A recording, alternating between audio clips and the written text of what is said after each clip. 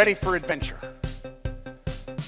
Don't let the world pass you by because it's moving at rocket speed. When I was 12 years old, I got up in the morning and my day, man, I was ready to rock and roll. In the summertime, my friends and I, we'd grab our bikes, we'd head to the swimming hole, or we'd head out into the forest and, and play in the woods and make tree houses, or we'd make go karts, or we'd do all sorts of amazing things. There was nothing at 12 years old I couldn't do.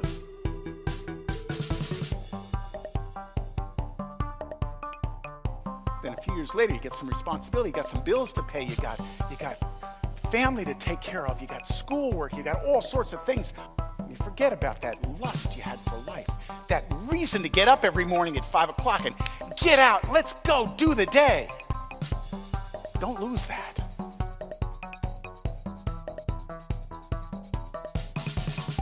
Every time I step in front of a group, I have one goal to give them as much valuable content, as much valuable information as I possibly can, and to have as much fun doing it. Okay, that's two things, I know, but they're all wrapped up together. I want this to be the most valuable time of your day. Tom Nixon was amazing, gave us some great ideas, some great tips, and some great things that we can do immediately to make sure that our presentations are fantastic. I'm going to use them tomorrow. I love the presentation today. I really came away with the idea of crafting my message. I thought about Tom's presentation today. It was absolutely wonderful, and I learned many great things through his five truths on presentation. I thought it was great. It was spot on information. I can take it back and start using it immediately.